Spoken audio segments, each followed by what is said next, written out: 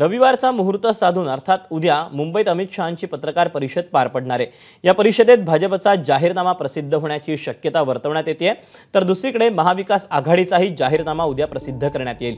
जाहीरनामा प्रसिद्ध झाल्यावर काँग्रेसचे राष्ट्रीय अध्यक्ष मल्लिकार्जुन खरगे जयंत पाटील आणि संजय राऊत यांची पत्रकार परिषद पार पडणार आहे. तर भाजप आणि महाविकास आघाडीच्या जाहीरनाम्यातून आता काय घोषणा होतात याकडे सर्वांचं लक्ष लागलं आहे भाजप नेमकं कोणत्या घोषणा करणार याची संभाव्य यादी एबीपी माधाच्या हाती आली आहे. नेमक्या जाहीरनाम्यात काय असू शकतं आपण जाणून घेऊया.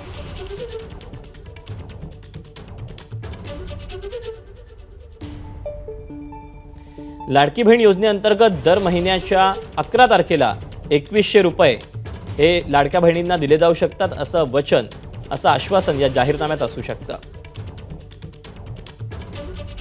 याशिवाय पदवीधर पदव्युत्तर तरुणांना नोकरीच्या तयारीसाठी दोन वर्षांसाठी दोन हजार रुपये. आयुष्यमान योजनेअंतर्गत प्रत्येक कुटुंबासाठी दहा लाखांपर्यंत मोफत उपचार.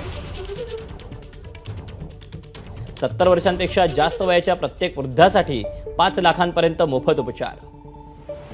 दहा लाख तरुणांच्या उच्च शिक्षणासाठी मासिक स्टायपेंड.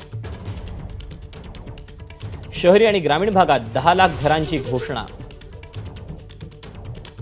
किसान सन्मान योजना एक हजार रुपयांवरून बाराशे पन्नास रुपयांवर. पंचवीस हजार महिलांसाठी पोलीस भरतीची घोषणा.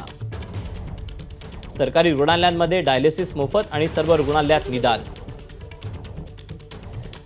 गृहिणी गृहिणी योजनेअंतर्गत पाचशे रुपयात सिलेंडर. ग्रामीण भागातील कॉलेजला जाणाऱ्या प्रत्येक मुलीला स्कूटर. असा संभाव्य जाहीरनामा भाजपचा असू शकतो. एबीपी माझा. उघडा डोळे बघा नीट.